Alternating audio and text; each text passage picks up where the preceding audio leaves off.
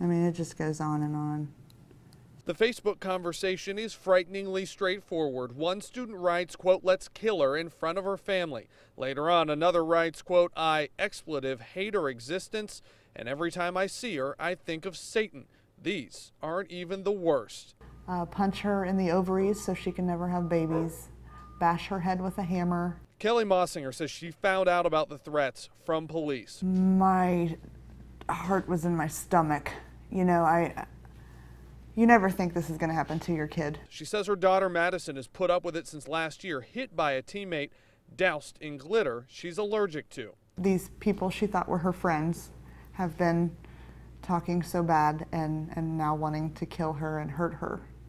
She's, she's lost a lot of trust. This time, Mossinger was told the students involved were suspended for three games. So instead of going to class on the first day of school, Mossinger took her daughter to meet with the principal at Blanchester Middle. The principal told me today that uh, he could not guarantee that nothing will happen to my daughter while she's at school. And if he said that, he would be lying. That principal told Nine on Your Side he was aware of what happened, but referred us to the superintendent, who didn't return calls for comment. So, do you feel like your daughter's safe at school? I do not. In Blanchester, They need to step up. Evan Millward, 9 on Your Side.